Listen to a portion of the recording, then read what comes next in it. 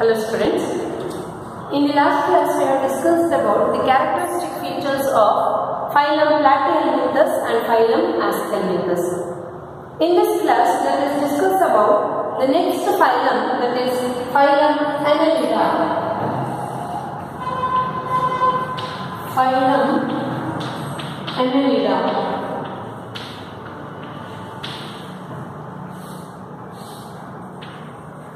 Phylum Annelida. Phylum Annelida includes the organisms or animals having segmented body. And annulus means ring, half ring like. Organisms having ring-like structure or organisms having the segmented body are placed under phylum Annelida. Annulus means ring. Annulus means ring. Presence of segmented body. Annulus means ring. Animals or organisms having segmented body are placed under phylum Annelida.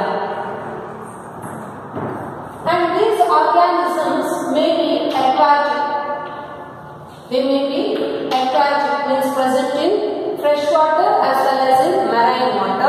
Aquatic.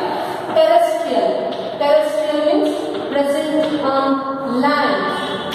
Present on land. Terrestrial. They may be free living or parasitic. They may be free living and parasitic. Phylum Annelida includes animals having segmented body and they are aquatic, terrestrial, free living and parasitic. These animals exhibit organ system level of organization. They exhibit organ system level of organization means group of organ forms organ system like digestive system, circulatory system, etc. Organ systems are present. They exhibit organ system level of organization. They are triploblastic. Triploblastic means presence of three germ layers such as outer ectoderm, middle mesoderm and inner endoderm. Triploblastic bilaterally symmetrical bilaterally symmetrical triploblastic then bilaterally symmetrical and coelomate animals bilaterally symmetrical coelomates and body is segmented having or exhibiting segmented body. Segmented body means body is externally and internally divided into various segments. Segmented body like this. This is called segmented body. In case of earthworm, in case of earthworm, we can observe the presence of segments called metamers. Metamers. Animals which belongs to phylum Annelida exhibit organ system level of organization. They are triploblastic, bilateral symmetrical, coelomates and showing in body. Then the circulatory system is closed type. Closed type of circulatory system is present in case of annelida. Closed type of circulatory system is present in case of annelida. Closed type of circulatory system is the blood pumped by the heart passes through the various veins or blood vessels. That is called as closed type of circulatory system.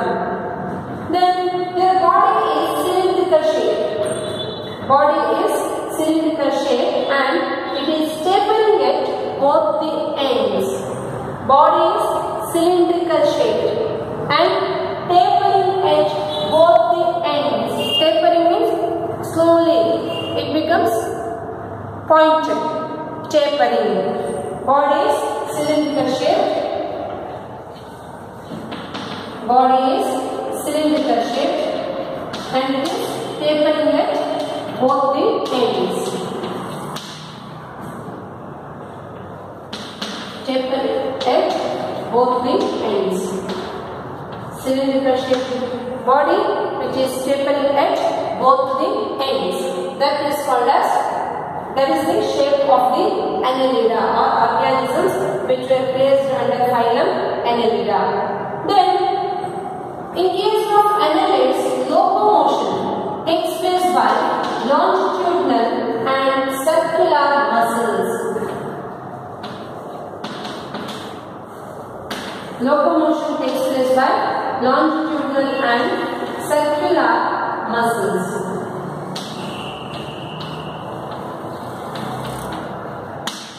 Locomotion takes place by longitudinal and circular muscles. This is about locomotion. Then, in case of aquatic animals like Nereis, Nereis, it is a annelida which is present in marine water. Aquatic annelid means which lives in water. In case of Nereis, there is a unpaired there is a unpaired hollow hollow lateral appendages called parapodia are present. Lateral unjointed. In case of knee is unjointed hollow lateral appendages. Lateral appendages are present and these appendages are called as parapodia. Parapodia and this parapodia helps in swimming. In case of nereis which are the aquatic forms of annelids, swimming or they swim with the help of unjointed hollow lateral appendages means in case of the body of nereis here. Here you can observe unjointed lateral outgrowths. Unjointed lateral outgrowths called parapodia. That parapodia, these are parapodia which helps in swimming. Then excretion and osmoregulation. In case of annelida, excretion means removal of waste. Excretion is nothing but removal of and osmoregulation. Osmoregulation means maintaining the balance of salts or maintaining the pH of body fluids. Osmoregulation. Excretion and osmoregulation takes place by the help of a special structure called nephridia.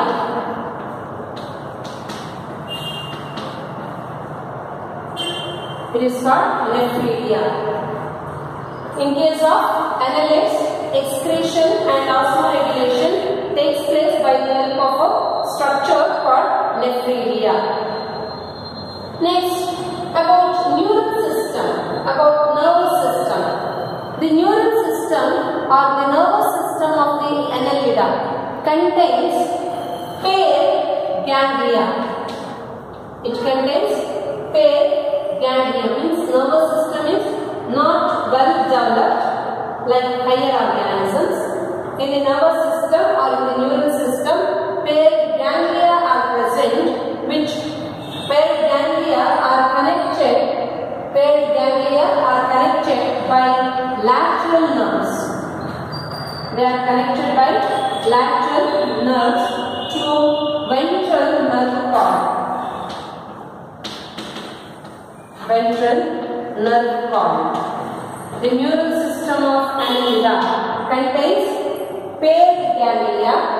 These paired ganglia are connected to ventral nerve cord by the help of lateral nerves. This is about neural system in case of annelida. Then about sexes. Usually they reproduce by sexual method. Reproduction takes place by sexual method and or it may not be separate. In some individuals, sexes are separate. Sexes are separate means we can identify as male and female annelids. Sexes may be separate or not separate. Sexes may be or not separate. If sexes are separate, then the condition is called as monoecious.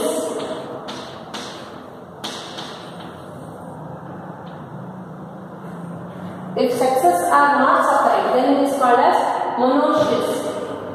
Monoecious means hermaphrodite. Sexes are not separate, means contains male and female reproductive structure. Both male and female reproductive structures are present in the body of single organism. That is called monoecious. Monoecious. Sexes are separate means that is called dioecious. Dioecious means sexes are separate. Sexes may be separate or may not be separate. For example, in case of Nereis, in case of Nereis, sexes are separate. But in case of earthworms, sexes are not separate, means monoecious. Earthworms are monoecious, Nereis are dioecious. This is about the important features of phylum Annelida. Then examples Nereis, Nereis, then. Pheretima is scientific name of earthworm. Pheretima is the scientific name of earthworm. Pheretima. Then Hirudinaria.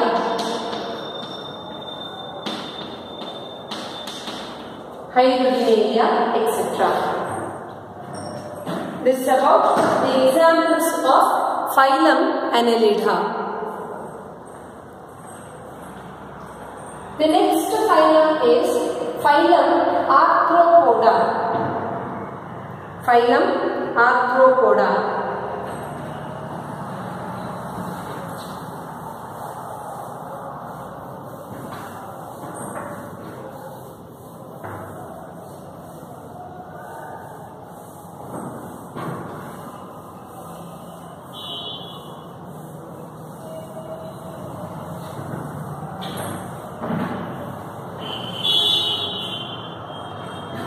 Phylum Arthropoda.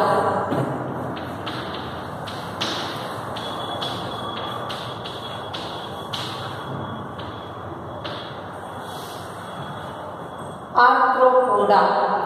Arthropoda. Arthro means jointed. Poda means legs or appendages. Arthros means joint or jointed. Poda means appendages.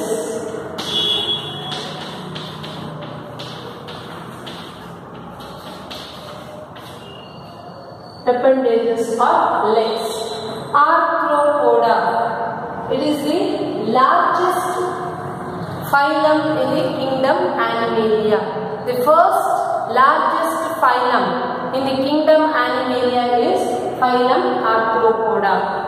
This phylum includes animals having jointed legs or jointed appendages.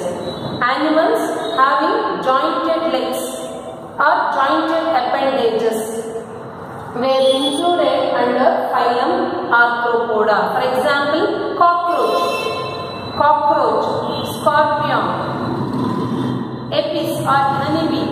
These were placed under Arthropoda. This is the first largest phylum, in the animal kingdom. Because this phylum includes insects. Phylum Arthropoda includes insects. Hence, it is called as the largest, first largest phylum in the animal kingdom. The important characteristic features of Arthropoda. They have jointed legs or they have jointed appendages. Jointed legs or jointed appendages. Then they exhibit organ system level of organization. They exhibit organ system level of organization. They are triploblastic. These organisms are triploblastic. Triploblastic means having three germ layers. Outer ecto, middle meso and inner endoderm. Triploblastic and they are bilaterally symmetrical. They are bilaterally bilaterally symmetrical, triploblastic, bilaterally symmetrical and they are coelomates and body is segmented. Body is segmented. Segmented body. Body is having segments or metamers. They exhibit organ system level of organization.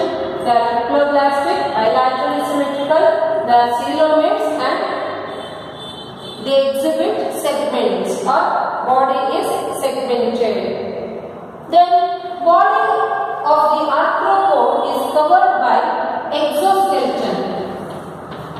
Arthropod body is covered by exoskeleton and that exoskeleton is made up of chitin.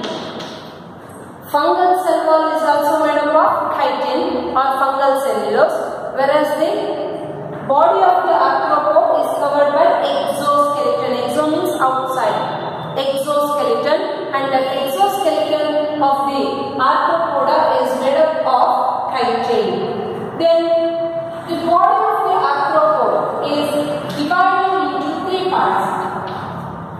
Body of the arthropod is divided into three parts such as head. Body of the arthropod is divided into three parts such as head, thorax and abdomen.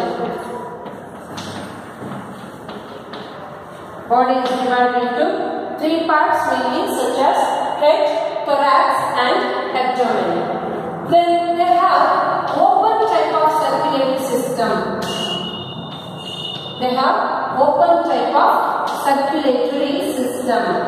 Whereas in case of Annelida, phylum Annelida, the circulatory system is closed type in Annelida. Whereas in case of Arthropoda, the circulatory system is open type. Means the blood pumped by the heart directly bathes the tissues. The blood pumped by the heart directly bathes the tissues. Then respiration. In case of arthropoda, respiration takes place by gills. Respiration takes place by gills or book gills or book lungs etc.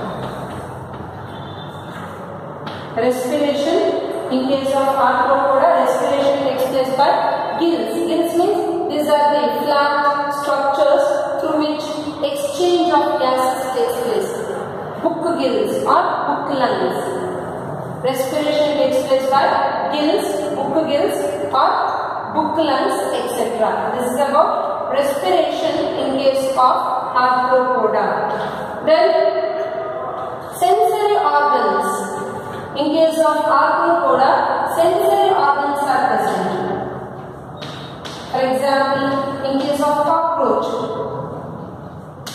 in case of cockroach, sensory organs like eyes.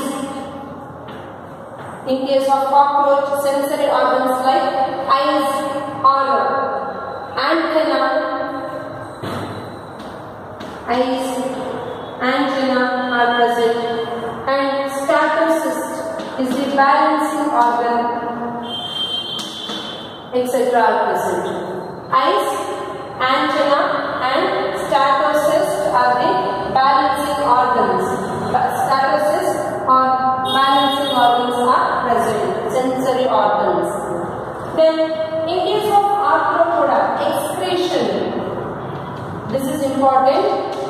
of arthropoda, excretion takes place by specialized structure called Malpighian tubules. In case of arthropods, excretion takes place by specialized structure called Malpighian tubules. Excretion means removal of waste from the body takes place by Malpighian tubules. Then, then sexes. Sexes. Sexes are separate, means they are dioecious. We can identify them as male and female, male cockroach and female cockroach. Male cockroaches and female cockroaches. That means sexes are separate. Then fertilization. Fertilization is nothing but fusion of male and female gametes. That is called fertilization. Fertilization is internal. Fusion of male and female gamete takes place inside the body of a female organism. Fertilization is internal. Then development.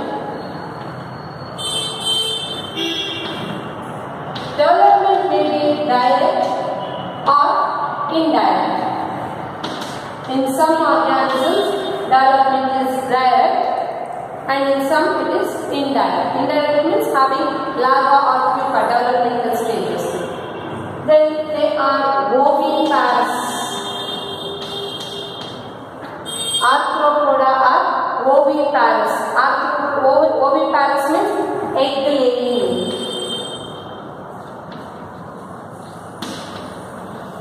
They are egg laying animals or organisms. Examples. Examples. Apis Apis indica scientific name of honeybee. Apis indica or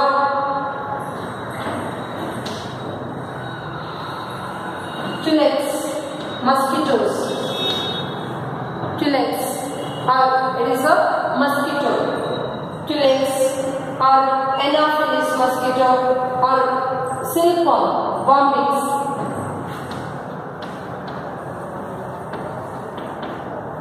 bombyx or silkworm Aedes Aedes aegypti mosquito etc which comes under phylum Arthropoda. This is about the characteristic features and examples of phylum Arthropoda. In the next class, we will discuss about the next phylum that is phylum Mollusca and phylum Echinodermata. Thank you.